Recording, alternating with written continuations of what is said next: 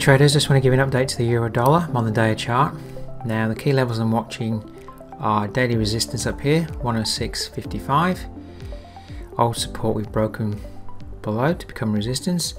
And targeting down here at 104.81. Can we continue the decline that's been forming? So I am watching for a rally back up to 106.55. Can that hold? Can price fail? A continued decline down to challenge 104.81 weekly support. Now let's just drop down to the 4 hour chart and have a closer look. Alright traders, onto the 4 hour chart now. I'm just in a fib from last lower top to the current bottom. I keep dragging that down if price keeps moving down, but I can see that 62% level of that range, 106.59, overlaps very closely to the daily level of broken support now resistance at 106.55.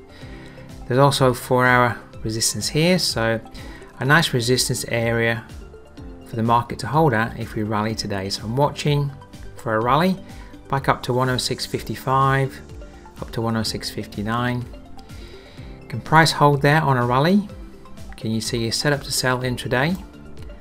for a move down today, targeting first of all the 127 extension level today at 105.71 and longer term can we continue the move down to target 104.81 weekly support.